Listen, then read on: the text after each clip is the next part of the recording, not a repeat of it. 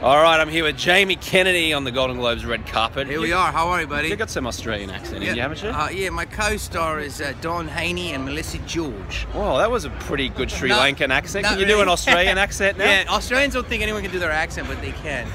All you have to say is right. Right, all right. Thanks, Jamie. Be well, brother. Nice meeting you. You. Take care, buddy. Bye. There you go. Jamie Kennedy. What a nice guy from the Golden Globes. Red carpet.